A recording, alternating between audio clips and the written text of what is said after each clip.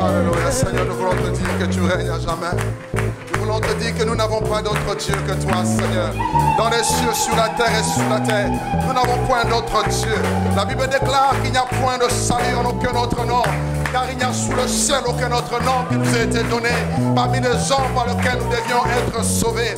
C'est le nom de Jésus que nous voulons encore célébrer ce matin, proclamer, honorer, glorifier.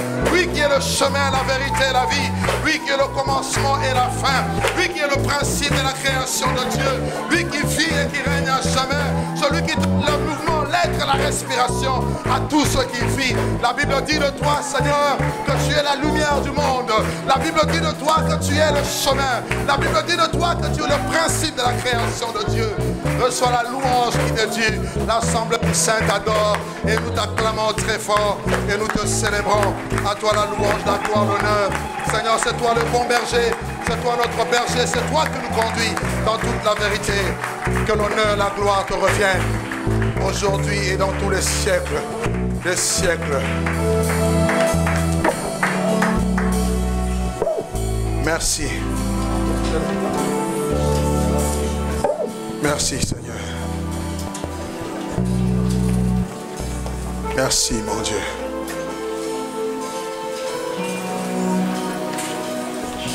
Est-ce qu'à présent que ta présence, une fois de plus, envahisse nos cœurs? Nous voulons nous présenter devant ce peuple comme un simple instrument, Seigneur. Seigneur, qui suis-je pour me tenir devant ton peuple et parler de ta part? Moi qui suis composé de chair, moi qui ne suis que poussière, il t'a plu par ton esprit de déposer en nous, Seigneur, oui, la grâce, une mesure de ton esprit afin de communiquer, Seigneur mon Dieu, ta pensée. Saint-Esprit de Dieu, je m'abandonne entièrement entre tes mains. Tu sais que je ne sais pas prêcher, je ne sais pas enseigner. Je ne peux pas parler de toi sans ton aide. Ainsi qu'il est dit que c'est poussé par l'Esprit que les hommes ont parlé de la part de Dieu. J'aimerais être investi de ton onction, de ton esprit. Donne-moi l'onction de ton esprit afin d'atteindre tes buts, tes objectifs, Seigneur. Et par le cœur de tout un chacun qui est ici, ces hommes et ces femmes qui ont quitté leur maison, qui sont venus à ta rencontre, Seigneur. Ne sont pas venus voir un homme, une femme, mais ils sont venus à la rencontre de Dieu. Alors toi qui es esprit et vie, communique-nous, Seigneur, ta vie au travers de ta parole. Seigneur, au nom de Jésus. Seigneur, je veux que cette parole soit proclamée avec force, puissance, autorité, gloire et vie, Seigneur. Et je prie que tu étendes ta main, que se produisent des guérisons, des délivrances, Seigneur mon Dieu. Que tu guérisses un cœur, un homme, une femme, une personne qui, qui est dans le besoin, qui est abattu, qui est dans les problèmes, qui est au bas de l'échelle. Et que tu relèves ceux qui sont tombés. Et que tu apportes la consolation, oui, par l'Esprit de Dieu. Merci Saint-Esprit pour ta grâce. Dans le nom merveilleux, précieux de Jésus, nous t'avons ainsi glorifié. Et nous disons tous Amen. Bonjour à tous. Bonjour. Aide-moi à saluer ton frère de gauche et de droite. Dis-lui bienvenue dans la maison de ton Père. Tu as peut-être salué celui de gauche. Salue aussi celui de droite. Dis-lui bienvenue dans la maison de ton Père.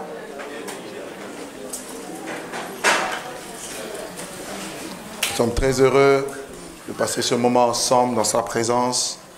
Je crois que Dieu va nous faire du bien au travers de son esprit. Et plus ça va, plus Dieu nous emmène encore dans des dimensions nouvelles. Et plus ça va, plus Dieu va euh, euh, euh, des choses inimaginables. Ce que j'aimerais juste demander à l'Église, c'est que chacun doit être sensible et saisir la pensée de Dieu, la part de Dieu. Alléluia. Nous ne sommes pas un club d'amis, nous ne sommes pas un club, un lieu de rencontre, nous ne sommes pas, je dirais, une association quelconque humaine, mais nous sommes l'Église de Dieu vivant et nous marchons derrière la personne de Jésus-Christ et le Saint-Esprit nous conduit. Il est impossible d'être conduit par l'Esprit de Dieu et rester la même personne. Il est impossible d'être dirigé par l'Esprit de Dieu et ne jamais connaître des exploits. Et je crois que le Dieu de la Bible que nous prions, c'est un Dieu qui nous amène de gloire en gloire, de progrès en progrès et d'exploit en exploit. Et je crois à cela. Alors, ce matin, je vais nous parler d'un message qui, je crois, dans mon cœur, qui va, qui va encore nous révolutionner qui va encore nous révolutionner parce que Dieu le dépose dans mon cœur et pas seulement dans mon cœur, quand on partage avec des frères et sœurs un peu partout, des serviteurs de Dieu, nous voyons que c'est le même message pour ce temps précis. Il y a deux dimanches, je nous ai parlé des fils d'Issachar et de la connaissance des temps. Il y a un message, il y a une nourriture pour chaque temps. Et il nous faut être suffisamment dans l'esprit pour saisir la pensée de Dieu afin de communiquer cela et afin de vivre et de pratiquer et pouvoir des résultats. Allez-y avec moi, nous allons lire trois textes. Le premier se trouve dans le livre de Actes au chapitre 17. Actes au chapitre 17, lisons le verset 1er au verset 9. Actes chapitre 17, le verset 1er au verset 9. La Bible dit, Paul et Silas passèrent par l'Amphipolis et la Polonie, et ils arrivèrent à Thessalonique, où les Juifs avaient une synagogue, et Paul y entra selon sa coutume, et pendant trois sabbats, il discuta avec eux d'après les Écritures, expliquant et établissant que Christ devait souffrir et ressusciter des morts. Et Jésus et Jésus que je vous annonce, disait-il, c'est lui qui est le Christ. Et quelques-uns d'entre eux furent persuadés et se joignirent à Paul et à Silas, ainsi qu'une grande multitude de Grecs craignant Dieu et beaucoup de femmes de qualité. Et la Bible dit, mais les Juifs, jaloux, prirent avec eux quelques méchants hommes de la populace et provoquèrent des attroupements et répandirent l'agitation dans la ville et se portèrent à la maison de, de, Jason et ils cherchèrent Paul et Silas pour les emmener vers le peuple. Ne les ayant pas trouvés, ils traînèrent Jason et quelques frères devant les magistrats de la ville en criant, ces gens qui ont bouleversé le monde sont venus jusqu'ici et Jason les a reçus. Ils agissent ainsi contre les édicts de César, disant qu'il y a un autre roi, parce que ces paroles les émurent la foule et les magistrats. Et ils ne laissèrent aller Jason et les autres qu'après avoir obtenu d'eux une caution. Le verset qui nous importe, sur lequel nous allons essayer de parler un peu ce matin, c'est ces hommes qui ont bouleversé le monde. Dis à ton ami, des hommes qui ont bouleversé le monde. Le problème, c'est que tu le dis faiblement. Je veux que tu parles avec conviction. Dis-lui, ces hommes qui ont bouleversé le monde. Dis-lui encore des hommes qui ont bouleversé le monde. Dis encore des hommes qui ont bouleversé le monde. Est-ce que j'aimerais voir peut-être ce matin, est-ce qu'il y a des hommes ou des femmes qui aimeraient bouleverser ce monde? Alléluia. Est-ce qu'il y a des hommes et des femmes qui aimeraient bouleverser cette génération? Dis à ton ami, c'est possible. Galates chapitre 1.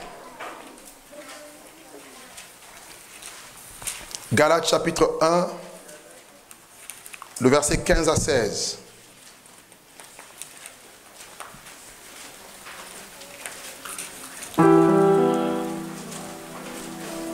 Galates chapitre 1 le verset 15 à 16. Mais lorsqu'il plut à celui qui m'avait mis à part dès le sein de ma mère et qu'il m'a appelé par sa grâce de révéler en moi son Fils, afin que je l'annonçasse parmi les païens, Aussitôt, je ne consultais ni la chair, ni les sangs, et je ne montais point à Jérusalem vers ceux qui furent apôtres avant moi, mais je partis pour l'Arabie, puis je revins encore à Damas. Et le dernier test se trouve dans le livre de Philippiens, au chapitre 3. Philippiens chapitre 3, nous disons le verset 7 au verset 8.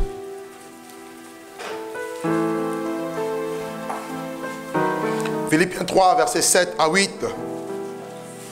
Mais ces choses qui étaient pour moi des gains, je les ai regardées comme une perte à cause de Christ. Et même je regarde toutes choses comme une perte à cause de l'excellence de la connaissance de Jésus-Christ, mon Seigneur, pour lequel je renonçais à tout. Et je les regarde comme de la boue afin de gagner Christ. Amen. Je regardais toutes choses comme une perte afin de gagner Christ. Nous parlerons ce matin les hommes qui ont bouleversé le monde. Ceci est un message révolutionnaire. Le but de ce message, c'est de nous pousser à prendre conscience de notre identité, de notre rôle, de notre rôle que nous devons jouer dans ces temps qui sont les derniers en tant qu'enfants de Dieu, en tant que peuple de Dieu. Et les trois textes que nous venons d'évoquer, de citer, nous parlent d'un personnage important dans le Nouveau Testament. Il est question de Paul. Il est question de Paul qui par la suite va s'associer à un autre, missionnaire du même calibre que lui, du nom de Silas. Voyez-vous, Paul était un apôtre, un envoyé de Dieu. Dieu l'avait envoyé, l'avait choisi, mis à part, envoyé pour apporter son nom, porter son nom devant les nations.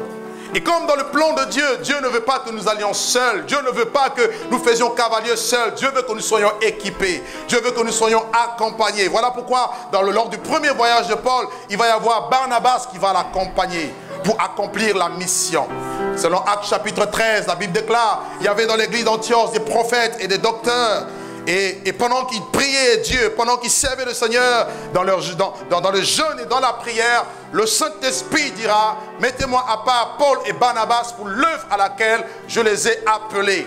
Et aussitôt l'Église a prié pour eux, l'Église va reconnaître la grâce de Dieu dans leur vie. Et par la suite, ils vont partir. Et partout où ils passaient, ils ont bouleversé le monde. Et quelque chose va se passer dans Actes chapitre 14 et Actes chapitre 15. Pour les Barnabas, vont avoir un petit dissident. Ils vont avoir un petit conflit qui va les amener à se séparer. Lui et Jean-Marc, Barnabas et Jean-Marc, ils vont quitter Paul. Et Paul va choisir un autre compagnon d'œuvre, un autre compagnon dans le service du nom de Silas. Silas ou encore Sylvain. Silas, c'était qui? Silas, c'était un prophète. Silas avait un don de prophétie. Silas est comme toi et comme moi. Paul est comme toi et comme moi, qui avons reçu de Dieu des dons, des talents, des capacités, qui avons reçu de Dieu un message. Quel message? L'évangile du royaume. Mais qui ont compris que le message que nous recevons, certes, ça nous concerne premièrement, mais cela ne doit pas rester à notre niveau. Car Dieu veut que dans notre environnement, dans notre entourage, que ce message puisse avoir un impact. Amen. Amen. Et quand on dit ces hommes qui ont bouleversé le monde, d'après le contexte de Actes chapitre 17 que nous avons lu, il est question de deux hommes, Paul et Silas, frères et sœurs. Ils étaient deux, ils ont bouleversé le monde. Nous, nous sommes combien dans notre temps? Ils étaient deux, ils ont secoué leur temps. Ils étaient deux, ils ont révolutionné les choses.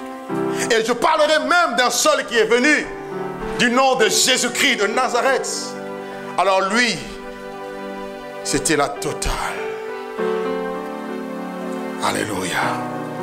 Ces hommes ont suivi les traces de leur maître Jésus-Christ. Ces hommes ont marché sur les pas de Jésus. Ils ont réalisé qu'il ne suffisait pas seulement d'être sauvés. Il ne suffisait pas seulement d'être pardonné, lavé de ce péché, purifié. Il ne suffisait pas seulement de recevoir la guérison. Oh, l'église aujourd'hui court seulement après la guérison. Une fois qu'on reçoit la guérison, une fois qu'on reçoit la bénédiction, c'est fini, notre mission s'arrête. Il y a plus que cela après.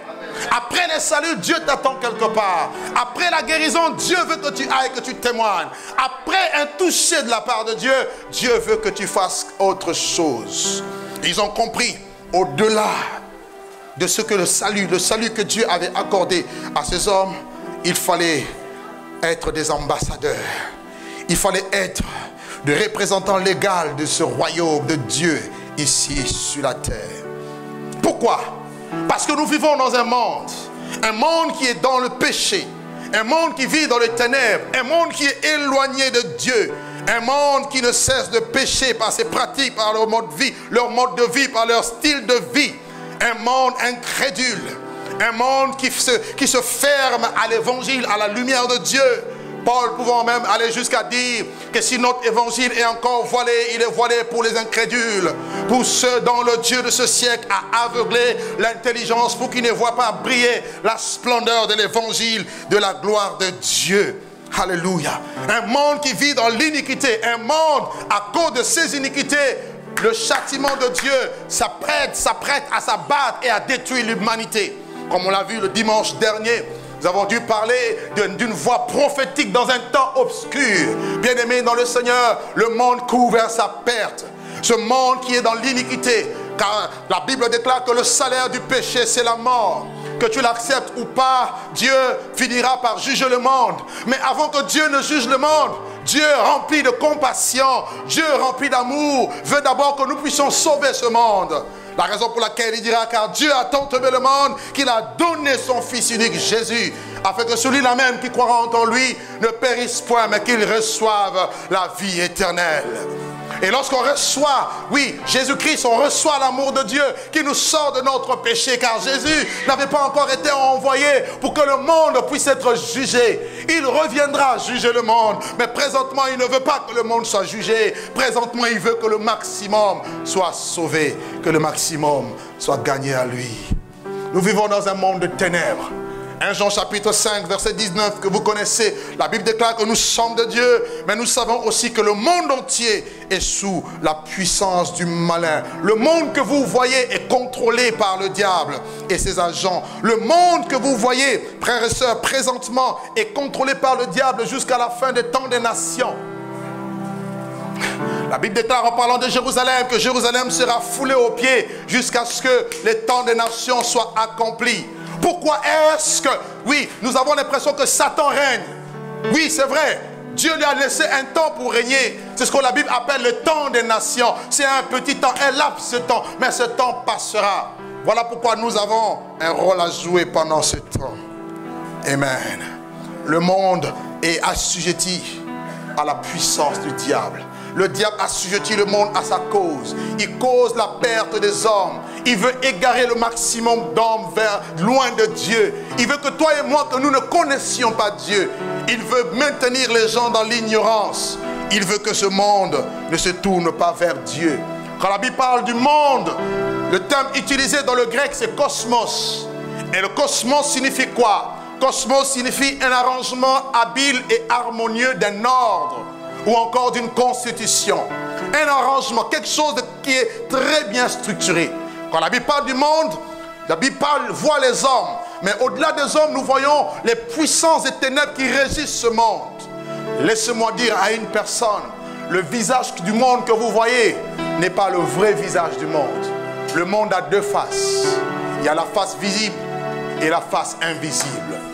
Il y a la face que vous voyez, les hommes, mais vous avez aussi une face où les puissances occultes contrôlent, dominent et règnent. Et beaucoup de gens sont malheureusement sous cette influence. Le monde est divisé. Il y a les dominés et les dominants. Il y a des gens, c'est réparti comme une pyramide où le sommet est constitué des hommes illuminés. C'est eux qui détiennent le pouvoir du monde. Et c'est eux également, ces personnes qui sont dans l'occultisme, qui font en sorte que le système du diable soit établi dans toutes les sphères, dans toutes les couches de la société. Suivez-moi très bien. Alléluia. Je parle du monde. On veut bouleverser le monde. Tu ne peux pas bouleverser le monde si tu ne connais pas le monde. Tu dois savoir le monde dans lequel tu es, le monde dans lequel tu vis. Ce monde est contrôlé par Satan. Et Satan est très mauvais. Il est très méchant. Il y a des gens qui sont dans l'occultisme. Il y a des gens qui vivent dans le satanisme.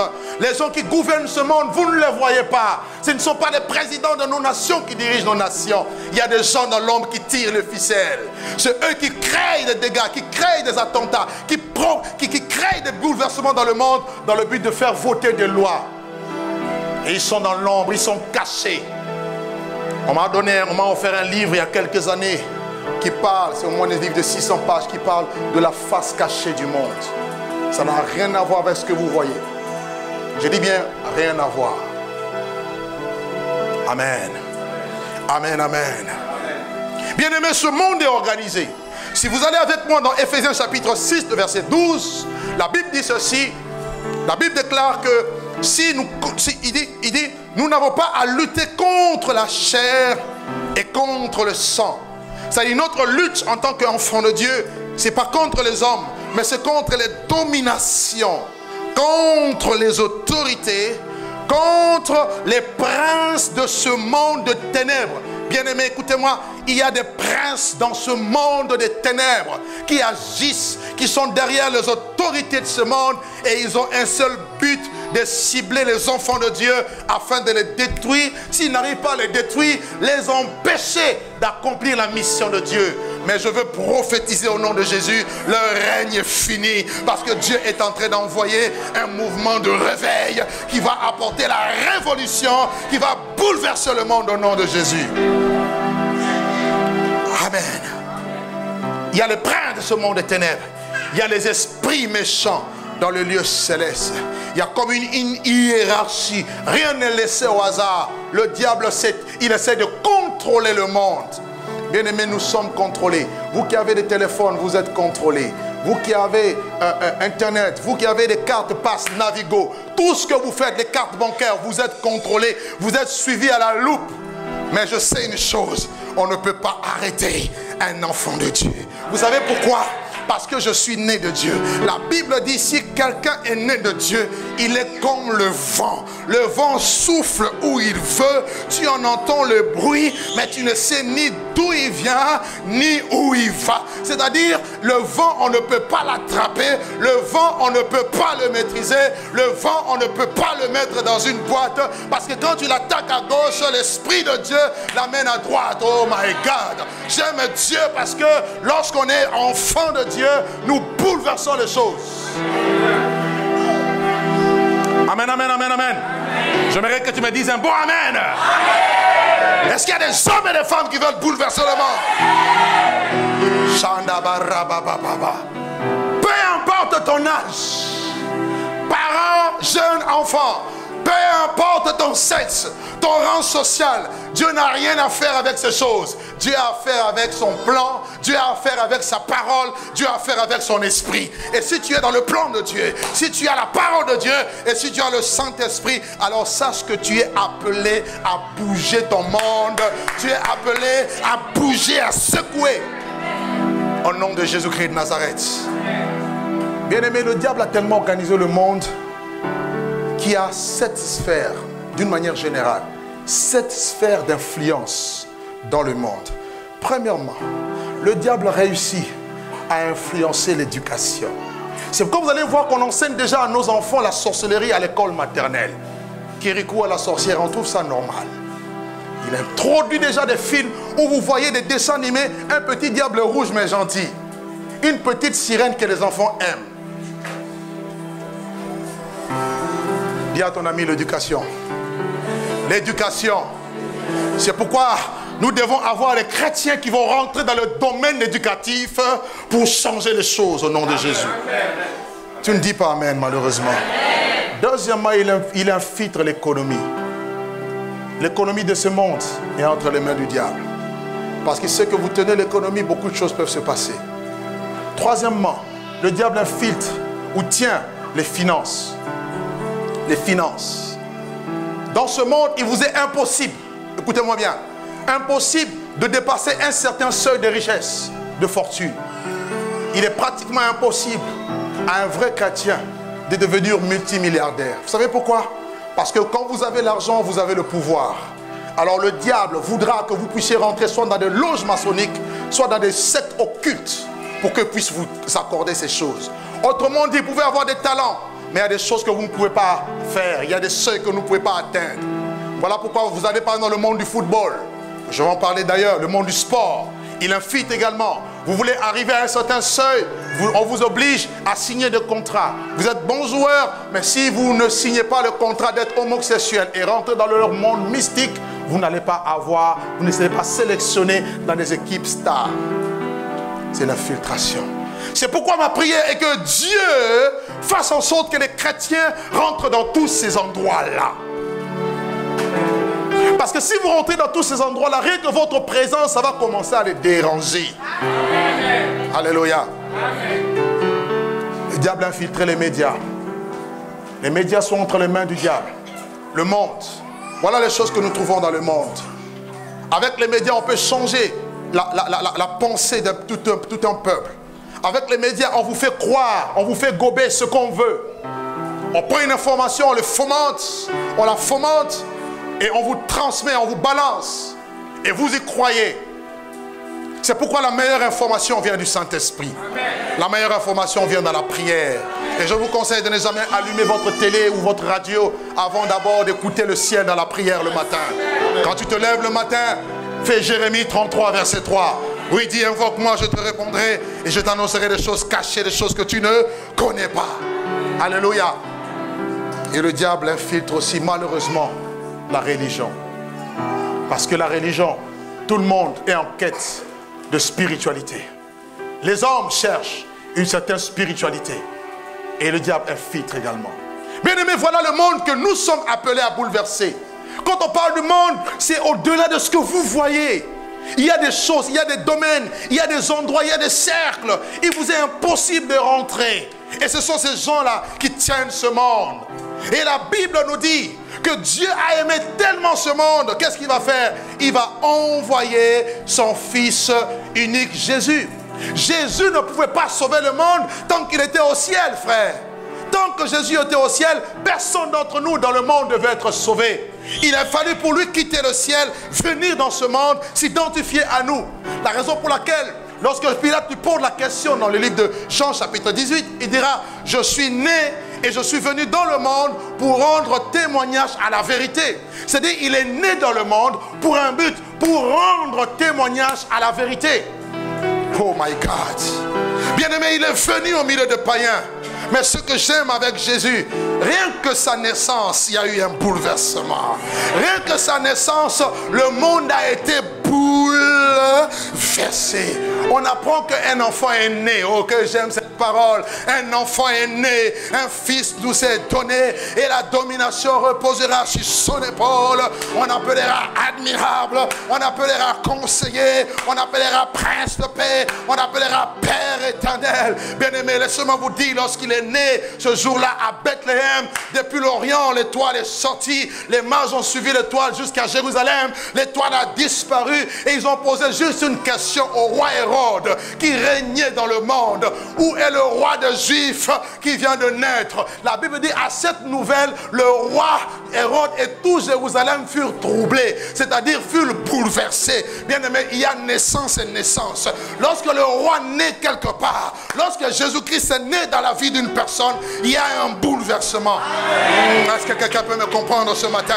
Je dis que lorsque Jésus naît quelque part, si réellement Jésus est né dans ta vie, dans le monde spirituel, il y a un bouleversement. Les sorciers qui te possédaient disent non, on ne comprend plus qu'est-ce qui se passe. Les choses autour de toi bougent, mais sur le plan spirituel. Vous savez, il y a des agitations qu'on voit dans le monde physique, ce n'est rien d'autre que le reflet ou encore la conséquence du spirituel. Quand quelqu'un est vaincu dans le spirituel, il s'énerve contre toi. Il y a des gens, vous allez au travail comme ça, tout le monde est fâché contre toi, tu ne les as rien fait. Tu as beaucoup prié, les démons sont agités. C'est pourquoi je prie que le temps arrive pour que même quand tu vas faire des courses au supermarché, Alléluia, la caissière, tu dis au nom de Jésus, les démons, ah, les démons commencent à partir. Frères et sœurs, il faut que nous puissions vivre des choses comme ça. Dis à ton ami, c'est possible. Non, il t'a pas bien entendu. Dis-lui, c'est possible. Et lorsque Jésus, on l'a amené dans le temple, la Bible dit ceci, il y avait un homme du nom de Siméon. Ce jour-là, il était poussé par l'Esprit, car il attendait la délivrance de Jérusalem. Et lorsqu'il voit le petit enfant entre le maître et sa mère, Marie, Siméon va prophétiser en disant ceci. Voici cet enfant est destiné pour amener la chute et le relèvement de beaucoup en Israël et être un signe qui marquera la contradiction. Bien aimé, quand vous bouleversez les choses, attendez-vous d'une part à gagner les âmes et attendez-vous d'une autre part à la haine des gens. Attendez-vous d'autre part à une confrontation, à une guerre spirituelle. Tout le monde ne vous aimerait pas. Tout le monde ne va pas vous apprécier. Mais j'en ai qu'une affaire si tout le monde ne m'aime pas. Je sais que Dieu m'a déjà aimé. Amen. Amen, amen. Même si on te rejette dans ta famille, tu es devenu un signe. Hier, mes yeux étaient fermés, mais aujourd'hui, je vois. Hier, j'étais aveugle, mais aujourd'hui, je peux voir. Aujourd'hui, ma vie est bouleversée. Que Dieu bouleverse la vie d'une personne ce matin. Que Dieu bouleverse la vie d'une personne qui m'écoute au travers des médias. Que Dieu bouleverse ta vie. La naissance de Jésus a bouleversé le monde. Oh, bien-aimé, il lui a fallu que trois ans. À l'âge de 30 ans, revêtu de l'esprit, il fallait que trois ans. Dis à ton ami trois ans. Toi, tu as combien de temps? Toi, combien, tu as quel âge? Depuis combien de temps tu t'es converti? Moi, j'ai dit à Dieu, Seigneur, il faut que les choses commencent à changer. Il faut que ça change encore. Il lui a fallu seulement trois ans. Bien aimé, en trois ans, il a bouleversé tout le système religieux, toutes les institutions politiques, toutes les couches sociales de son temps et de son époque, qui à ce temps-là n'avaient pas entendu parler de Jésus. Frères et sœurs, tout le monde, la Bible dit, sa renommée se répandit partout parce qu'il y avait de l'impact. Quand tu commences à bouleverser le monde, tu n'as pas besoin d'un titre. Parce qu'aujourd'hui, on pense qu'il faut avoir un titre dans l'église pour bouleverser le monde. C'est faux et archi faux. Tu as besoin de Jésus en toi. Tu as besoin de la parole de Dieu en toi. Et quand tu entres dans ta destinée, les choses changent. Trois ans. Et le monde a été bouleversé. Tiens ton voisin comme ça, dis, je veux bouleverser.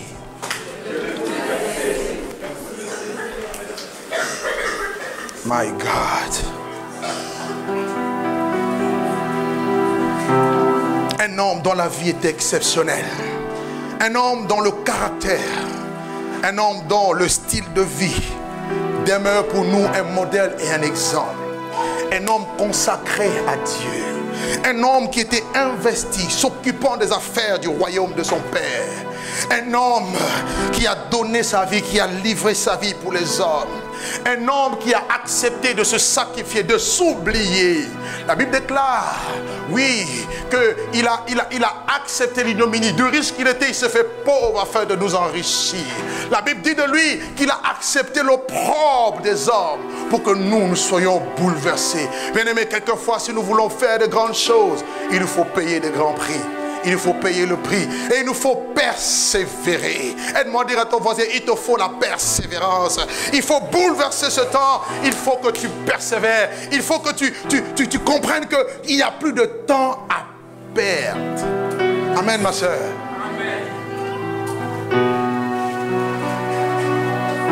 Et Jésus dira, comme le Père m'a envoyé dans le monde, moi aussi je vous envoie. Alors, pour bouleverser le monde, notez trois choses majeures que j'aimerais évoquer rapidement. Trois choses qui vont nous aider, vous et moi, pour bouleverser ce monde. Premièrement, nous avons besoin de la révélation.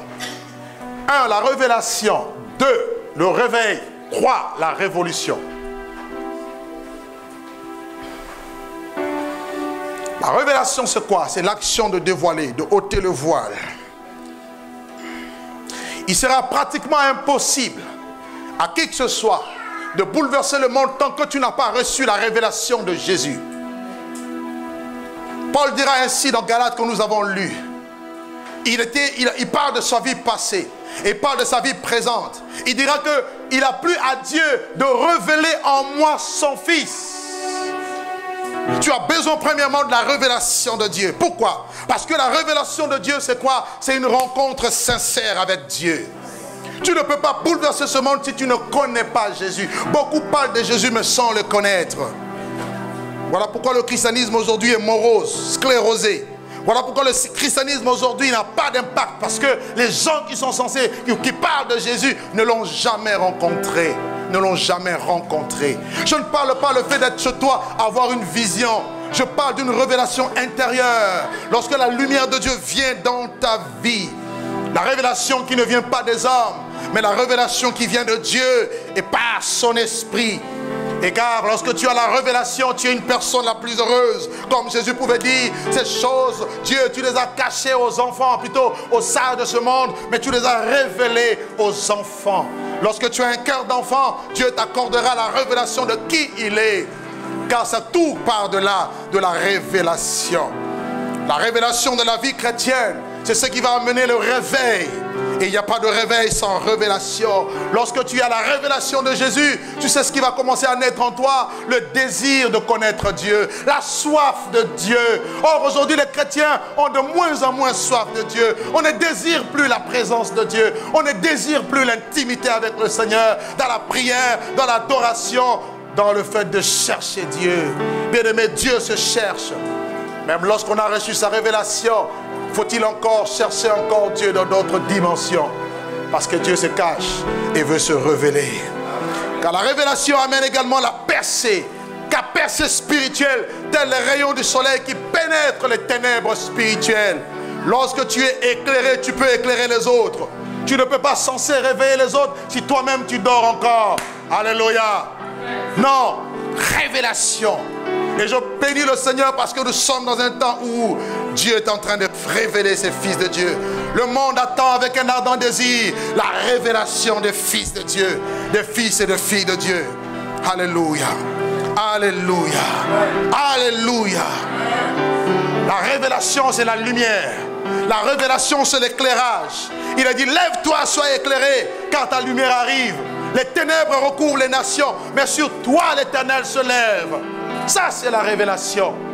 Alors tu dois commencer à demander à Dieu tous les jours, révèle-toi à moi, révèle-toi à moi. Est-ce que tu peux faire ça avec, moi, avec moi cette prière? Seigneur, j'ai besoin de ta révélation. Encore, Seigneur, j'ai besoin de ta révélation. La révélation ne vient pas du pasteur Douglas, non. J'ai beau vous prêcher du matin au soir. Si le Saint-Esprit ne vous ouvre pas l'esprit, vous n'aurez jamais la connaissance de Jésus. Or, lorsque quelqu'un a la révélation de Jésus, il y a déjà un, travail de transformation intérieure que la Bible appelle le réveil. La révélation conduit au réveil. Et c'est quoi le réveil? Le réveil spirituel, mes frères, écoutez-moi bien. Ce n'est pas lorsque nous prions pour les gens, les gens pleurent, les gens tombent, ils tombent au sol, ils crient, mais ils ne changent pas de vie. Ça, c'est pas le réveil. Ça, c'est du cinéma. Ça, c'est un cirque. C'est un spectacle. Amen. Le réveil spirituel ne consiste pas dans les cris. Et aujourd'hui, l'Église crie, l'Église, oh, même Dieu dira, éloignez de moi le bruit de vos cantiques, car je n'écoute même pas vos cantiques. Car ce peuple m'honore de lèvres, mais son cœur est éloigné de moi. Lorsqu'on parle de la révélation, c'est lorsque tu sors ton cœur dans les ténèbres et tu viens à la lumière de Dieu. Le réveil, c'est quoi? Le réveil, c'est la prise de conscience de ton état spirituel. Le réveil, c'est quoi? Le réveil, c'est le fait de sortir du sommeil spirituel. Le réveil, c'est quoi? Le réveil, c'est le fait de sortir de la torpeur spirituelle. Amen. Amen, amen, amen, amen. Est-ce que je me fais comprendre ce matin? Est-ce que tout le monde m'entend ce matin? Sortez de sa torpeur spirituelle. Il y a un bouleversement interne, un chamboulement. Il y a des valeurs en toi qui changent. Et cela, c'est poussé par l'amour de Dieu. Nous devons être réveillés à cause de l'amour que Dieu a pour nous. La Bible dit, cela importe d'autant plus, vous savez en quel temps nous sommes. C'est l'heure de vous réveiller enfin du sommeil, car le salut est plus près de nous que lorsque nous avons cru. Amen. Et il dit, il dit, dépouillons-nous des œuvres des ténèbres et revêtons les armes de lumière. Frère, quand on parle du réveil, il est question d'enlever le vieux costume. Le réveil implique quoi? Tu dois changer de vie, tu dois changer d'attitude. Le réveil, c'est quoi? C'est le fait d'abandonner le péché. Quelqu'un peut me dire Amen, Quelqu'un peut me dire amen. Pose la question à ton voisin, es-tu réveillé? Pose-lui, es-tu réveillé? Dépouiller les œuvres de ténèbres. Aujourd'hui, on crie le réveil. Mais regardez le tas de l'église aujourd'hui. Le mauvais comportement des chrétiens empêche les païens de venir à l'église. Les chrétiens parlent mal. Le chrétien se comporte mal. Les chrétiens volent. Ils sont des escrocs. Les chrétiens n'ont pas un bon témoignage. C'est à cause de vous que le nom du Seigneur Jésus est blasphémé. Et on crie le réveil. Le réveil, ce n'est pas la marche pour Jésus. Tu peux marcher pour Jésus, mais si ton cœur n'est pas transformé, tu es encore dans le sommeil spirituel. L'église de Sardes qui paraît vivante alors qu'elle est morte. L'église de Sardes qui paraît être vivante alors qu'à l'intérieur elle est remplie d'ossements de mort. Alléluia. Le réveil spirituel. Le réveil, c'est comme Paul qui dira, écoutez, J'étais persécuteur de l'église. J'étais ceci. Mais le jour où j'ai rencontré Jésus, les choses qui étaient pour moi des gains, je les ai regardées comme une perte. Lorsqu'il y a un réveil, tu dois perdre les choses. Toi, tu, es, tu te dis chrétien, mais tu n'as rien perdu. Tu as toujours le même comportement. Tu vis toujours dans les mêmes tares. Tu es toujours dans les mêmes pratiques d'hier, d'autrefois. Non, frère. Tu as simplement choisi de venir à l'église, mais tu n'es pas réveillé. Venir à l'église n'est pas synonyme d'être réveillé. Est-ce que je peux parler à une personne ce matin? Qui veut vivre le réveil spirituel? Qui veut vivre le réveil spirituel dans sa vie? La Bible dit, réveille-toi, toi qui dors, et relève-toi d'entre les morts, et Christ te clairera. Et bien aimé, on ne peut pas apporter une révolution, on ne peut pas bouleverser notre monde. Écoutez, vous allez vers les païens, et les mêmes païens vous disent, mais oh, toi aussi tu es comme nous, et tu veux le bouleverser. Comment est-ce que tu peux le bouleverser si tu vis à la manière des païens? Les païens sont libres d'alcool, toi aussi te voilà, tu rentres... Euh, Le païen fume, toi aussi. Tu dis non, c'est le joint. En fait, tu te joins à qui? Alléluia. Alléluia. Le païen est triche, la comptabilité est triche. Et enlever un zéro là, enlever, euh, vous comprenez Toi aussi tu fais la même chose. Comment veux-tu impacter une personne? Parce que chacun de nous, par rapport à son activité, par rapport à ce qu'il est appelé à faire, il doit comprendre que Dieu l'a mis là dans le but de fiancer. Bouleverser veut dire influencer, impacter. Et cela commence avant même de parler. Ce n'est pas ton comportement qui prouve que tu es réveillé. Il n'y a pas de bouleversement. Il n'y a pas de chamboulement et de réveil, bien-aimé dans le Seigneur, sans une prise de conscience réelle et sincère. Dis que voilà, j'étais ceci, j'ai abandonné. Et j'exhorte le peuple de Dieu à abandonner le péché. Dépouillons-nous des œuvres des ténèbres. Marchons honnêtement comme en plein jour. Avec l'aide de Dieu. Parce que lorsque tu es réveillé, tu peux réveiller les autres. Avez-vous déjà vu quelqu'un qui dort et qui réveille une autre personne qui dort? Papa et maman ont mis le réveil. Ça commence à sonner, les deux dorment. Il faut que l'un, l'un d'eux se réveille. On dit, hey, nous sommes en retard, chérie, réveille-toi. C'est bien ça, non? Maintenant, toi et moi, on dort. On dit, bon, on va réveiller les autres. Toi, tu dors, je dors et je dis, je veux venir te réveiller. Ça n'a aucun sens. Regarde ton voisin, dis-lui, réveille-toi, il est 6 heures du matin. Non, il n'a pas entendu, dis-lui, réveille-toi, il est 6 heures du matin.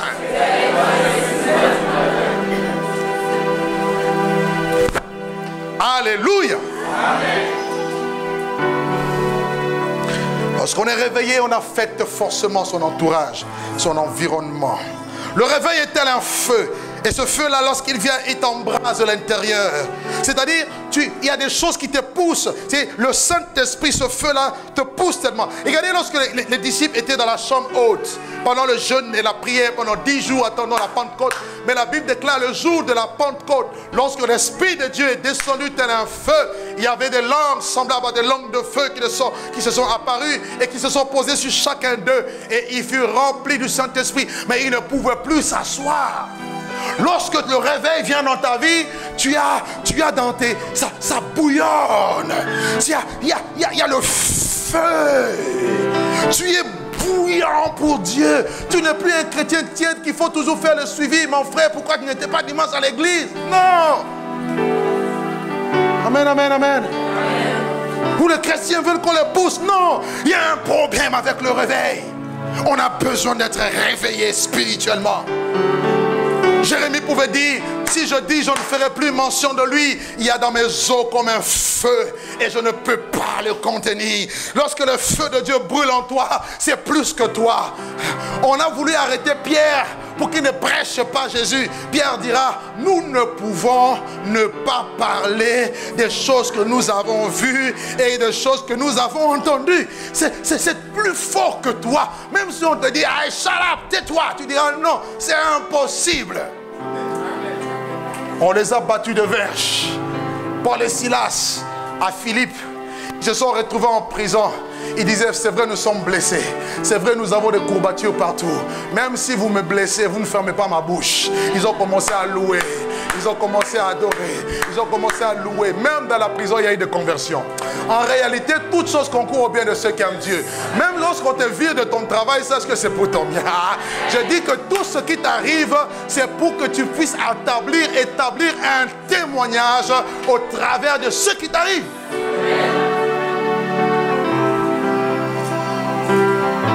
Cette résurrection, tu dois secouer la France. Je le prophétise, nous allons secouer la France et les nations. Je le déclare, je le déclare au nom de Jésus. Amen. Et le réveil amène la révolution. Révélation, réveil, révolution. La révolution, c'est quoi? Vous allez voir que le mot bouleverser le monde, ça a la même racine que révolution. Parce que dans les Grecs, ce mot signifie anastato. Anastato, bouleverser, signifie aussi révolutionner. Anastato veut dire révolter, troubler, déranger, révolutionner. Cela veut dire quoi? Cela veut dire que Dieu nous appelle à déranger. Tu n'as pas compris. Donc si tu ne déranges pas les sorciers de ta famille, c'est qu'ils sont tranquilles, ça ne va pas. Je n'entends même pas d'amen. C'est pas grave. Frère, sœur, tu es appelé à déranger. Tu es appelé à déranger. Je déclare qu'à partir d'aujourd'hui, tu vas commencer à déranger tous ceux qui étaient qui dormaient tranquilles. Il faut que les choses qui sont cachées là, le feu de Dieu amène ça à la lumière. Vous savez, tant que Paul avait le tas de broussailles, il ne savait pas qu'il y avait une vipère. Il fallait qu'il amène ce tas de broussailles dans le feu. Et lorsque tu mets le feu, les vipères sortent. Je suis venu déclarer que les vipères qui sont cachées, les démons qui bloquent ta vie, qui font des choses dans ta famille, le feu de Dieu va tellement les secouer et ils vont sortir au nom de Jésus. Amen, amen, amen, amen. Il faut bouleverser. Dans la famille, on dit, ici dans cette famille, les filles ne se marient pas. Tu dis, moi, je veux, introduire un nouveau régime. non, quelqu'un ne me comprend pas très bien. On dit que dans cette famille, les jeunes filles n'enfantent pas. Tu dis, moi, je vais changer. En fait, tu dois être le premier d'enfant. Tu dois être le révolutionnaire.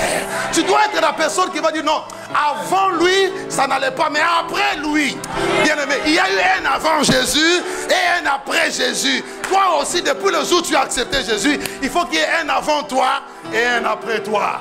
Non, ma, ma présence en France, les choses doivent bouger. Non, ma présence dans ma famille, les choses doivent bouger. Oh, quelqu'un dit avec moi révolution. Dis avec moi plus fort révolution. Oh, Rabashanda, baba, baba, baba, baba. Tu ne mourras pas. Tu vivras et tu raconteras les œuvres de l'éternel. Hmm, oui, moi j'acclame pour moi-même. Je ne mourrai pas. Je vivrai. Même si on met le poison, je ne partirai pas. Oh, même s'il y a eu un accident de véhicule, je ne mourrai pas. Je vivrai et je raconterai. Je dis, je raconterai. Je raconterai. Je raconterai. Je raconterai les œuvres de l'éternel.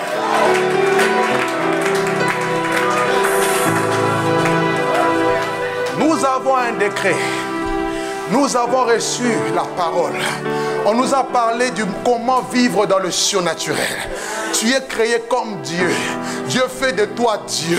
C'est-à-dire quand les situations viennent, il y a des situations où tu dis Seigneur, ça je refuse, ça je refuse, ça je refuse. Cette situation n'arrivera pas. Non, non, non, non, non, non, non. Lazare est mort. On a dit c'est fini. Il dit non.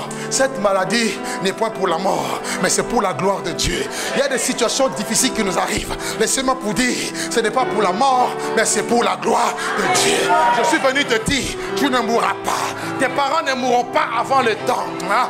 Oh, la Bible dit Moïse est mort d'après l'ordre de l'éternel. Si tu es enfant de Dieu, refuse les surprises. Oh, quelqu'un ne m'a pas compris. Je disais ce matin, quelqu'un ne m'a pas compris. Refuse des surprises. Quelque chose de négatif arrive, tu dis Seigneur, tu ne m'avais pas informé. Hein? Quand tu ne m'avais pas informé, alors j'arrête ça. Non, je ne te dis pas de pleurer. Je te dis de déclarer. Je te dis de parler. Oh, osement desséché, reprends. Hein? Est-ce que je peux parler à une personne?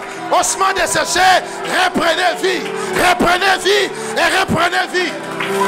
Oui, frère. Ça suffit avec des...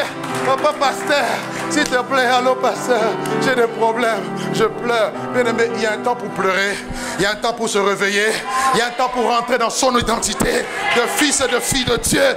Oh, est-ce qu'il y a un fils du royaume ce matin? Est-ce qu'il y a un fils, fille du royaume ce matin? Rentre dans ton identité et commence à déclarer les choses. Bien aimé dans le Seigneur, ces gens qui ont bouleversé le monde, ce n'était pas seulement Paul, ce n'était pas seulement Silas, ce n'était pas seulement Élie, Moïse, ce n'était pas seulement Élisée, Jérémie, Esaïe, ce n'était pas seulement Ézéchiel.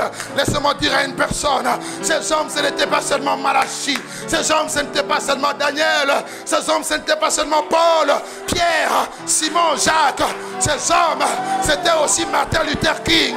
Oh, ces hommes, oh, c'était aussi Jean Calvin, ces réformateurs. John, mon Dieu, Zwingli, John Hus, oh, John Wesley, Charles Finet. C'était des hommes comme toi et moi.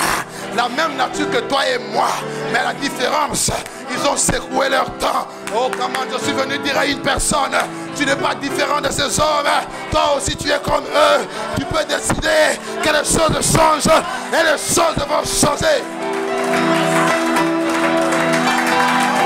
Il y a eu des révolutionnaires. Il y a eu des gens qui ont bouleversé le monde. Ces hommes sont morts. L'histoire nous parle de Lénine. On nous parle de Thomas Sankara. On nous parle de tant d'autres, Gandhi. Des hommes qui ont apporté des révolutions dans le monde. Leurs noms ont été réécrits dans les annales de l'histoire. Mais laissez-moi vous dire, un homme que l'humanité refuse de croire, le nom qui s'appelle Jésus-Christ, même l'histoire, même la science, même la géographie, l'archéologie reconnaît qu'il y a eu un homme qui a existé et cet homme n'était pas comme tous les hommes. Il y a eu un tombeau qui a été vidé. Ce tombeau est à Jérusalem. Le tombeau était mort, alléluia. Le tombeau était ouvert. La personne qu'on avait mis dans le tombeau, la mort n'a pas pu le retenir. Trois jours après, la terre a tremblé et il est sorti du tombeau, vivant et victorieux. Et ce Dieu-là veut faire de toi un révolutionnaire. Baba Bashanda, qui le croit de tout son cœur? Qui le croit de tout son cœur? Qui le croit de tout son cœur? Dis je suis né. Dis je suis né pour bouleverser le monde. Lève-toi avec moi. Dis avec moi, je suis né. Lève-toi là où tu es. Je suis né. Je suis né pour bouleverser le monde. Je dois bouleverser. Je dois bouleverser l'économie. Je dois bouleverser, oui, la société. Je dois bouleverser l'éducation. Je dois bouleverser les finances.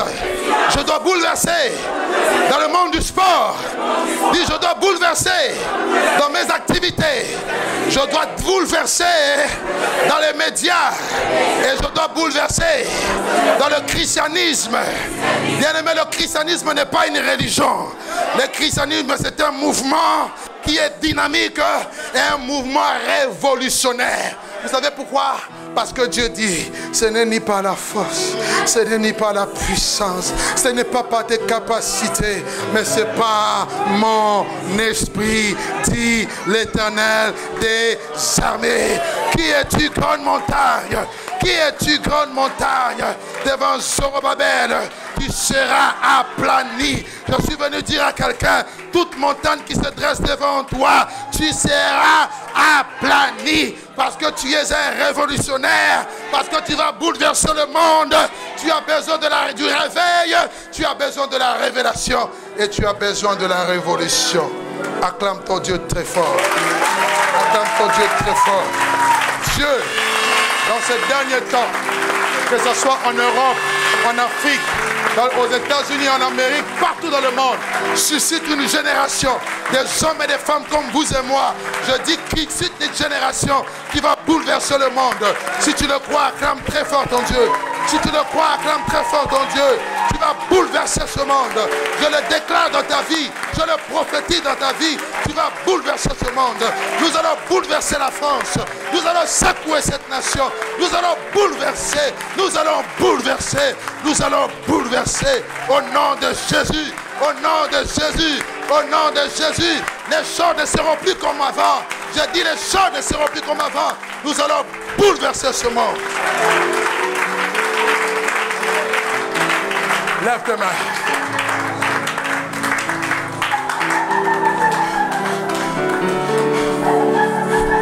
You deserve the glory. Lève tes mains. Dis Seigneur simplement, me voici. Je ne sais pas quelle prière tu vas faire à Dieu. Je ne sais pas quelle prière tu vas réellement faire à Dieu. Mais prie par rapport à ce message. Que cela puisse avoir, oui, de l'effet dans ta vie. Ce n'est pas pour te secouer, mais c'est pour te réveiller. Élève ta voix, commence à prier avec moi. Prie. Demande une révélation réelle et sincère.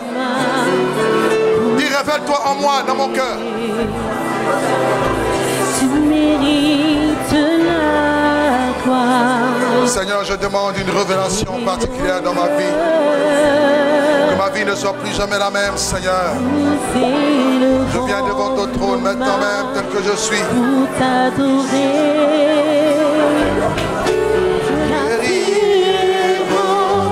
Prie, demande la révélation. Demande que Dieu se révèle à toi. Demande cela. Prie. Prie de tout ton révèle-toi à moi. Dis Jésus, révèle-toi à moi. Dis Jésus, révèle-toi à moi. Oui, prie le Seigneur avec moi. Oh,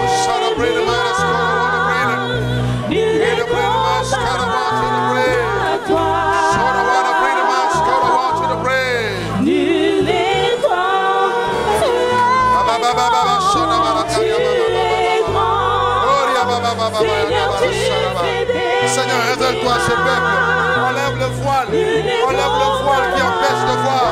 Enlève le voile de l'incrédulité. Fais tomber les écailles. Prie avec moi. Prie avec moi de tout ton cœur. Prie pour recevoir la révélation de Dieu. Il est prêt à se révéler à toi. Même les enfants, priez. Priez pour une révélation de Jésus. Oh!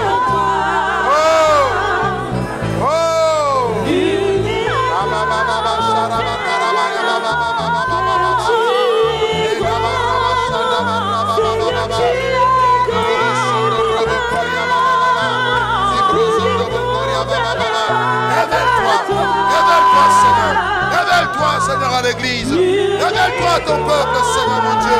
Ouvre les yeux spirituels de ce peuple, Seigneur.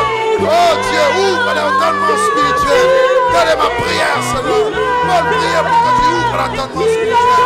Qu'ils te connaissent, Seigneur. La vie éternelle, c'est qu'ils te connaissent, toi, le seul vrai Dieu. Et ton Fils Jésus que tu as envoyé.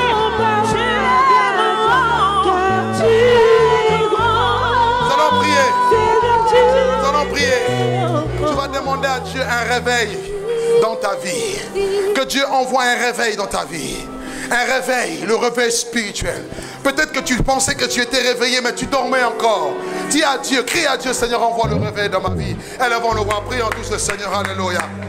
Là où tu es, prie, prie le Seigneur, prie. Prie le Seigneur, prie le Seigneur. Rabashanda Barabara Karabasanda Barabara Karabasanda. Oh, Yababa Baba Sanda Barashara Barabara. Envoie le réveil dans ma vie. De la même manière, tu as réveillé l'esprit de Zorobabel, l'esprit de Agé, tu as réveillé l'esprit de Josué et l'esprit de tout le peuple. Réveille-nous, Seigneur. Amène-nous le réveil spirituel. Amène-nous le réveil spirituel. Apporte le réveil spirituel à l'église. Oh Dieu, prie. Prie pour le réveil dans l'église. Prie pour le, le réveil dans l'église. Élève ta voix, élève ta voix. Prie, prie, prie, prie. Prie au nom de Jésus. Prie au nom de Jésus.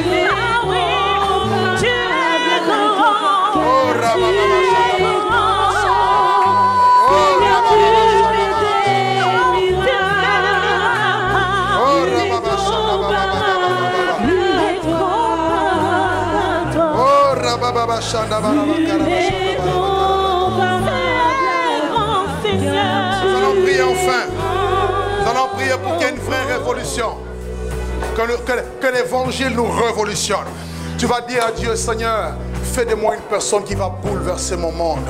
Chacun de nous a un monde. Ça peut être l'université, l'école, ça peut être le travail, l'entreprise. Où, où est-ce que tu exerces, oui, ton influence Où est-ce que tu, tu passes le plus de temps? Dans ta famille, dans ton quartier, dans ton environnement. Dis à Dieu, Seigneur, je veux bouleverser. Je veux bouleverser. Élèvons nos voix, prions le Seigneur. Oh, babababa. Oh, prie avec moi, prie avec moi, prie avec moi, prie avec moi. Prions, prions, prions, prions, prions. Oh, Alléluia. Oh, Alléluia. Alléluia.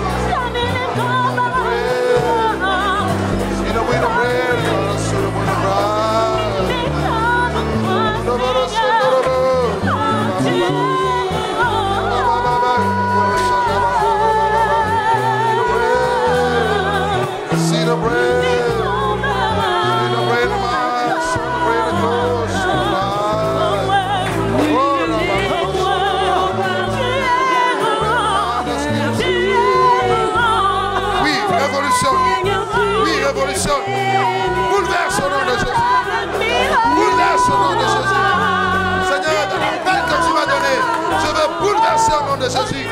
Prie au nom de Jésus. Prie avec moi. Église, prie avec moi.